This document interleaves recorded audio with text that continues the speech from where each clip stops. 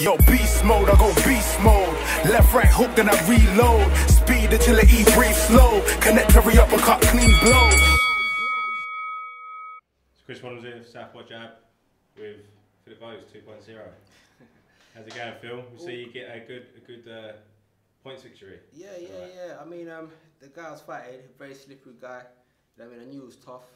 So after about third, fourth round, I realised I wasn't going to stop him. So I just, you know, kind of reverted back to my old style of just making and stuff. But I mean, yeah, it's a new improved Quicksilver, really. Okay, um, I always ask you this, and you're always quite critical. Um, how do you rate your performance? You know what? I, yeah, I mean, I got caught with about six shots. I counted them every time I got caught. So I got caught with a few shots. But I mean, for me, it was more um, of working on stuff. I mean, me and my conditioner Paul, we've started working pads together. I mean, that so like little things like just trying little, just little things. Um, yeah, working the body more, trying uppercuts, little things that I wouldn't normally do, try and go forward. I mean, going forward, I mean, it's, it's acceptable to like, you know, I mean, getting caught. I didn't even get caught as, as much as I thought it would have been. You know what I mean? As going forward.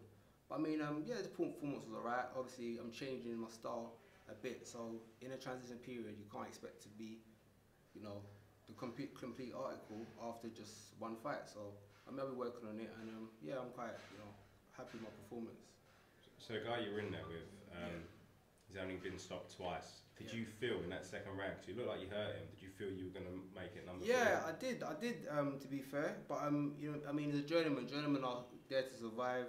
Um, every time I hit him, he just kind of, yeah, just ran away and done his thing. I mean, I don't blame him. That's his job. If he gets stopped, he can't eat for 28 days. I mean, in the sense of, I mean, eat in the sense of can't make money. So I mean, you know, he done what he has to do to survive, and um, yeah, fair play to him. Okay, um, so what next? When you next out, do you know? Yeah, it should be December. I'm gonna sit down with the manager on Monday. Um, look at the options we've got. You know what I mean? I mean, um, southern areas there. I mean, there's a few options out there at the moment.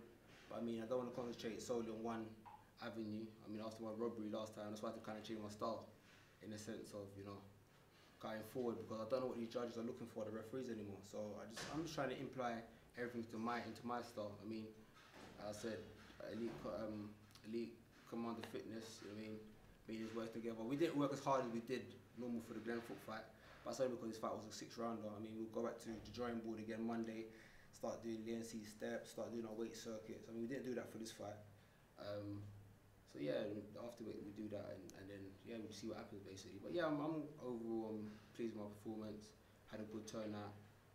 A lot of people dropped out um, last minute of tickets. That's the like kind of the um, the downside of selling tickets. People drop out. You know, family emergencies, financial difficulties of people.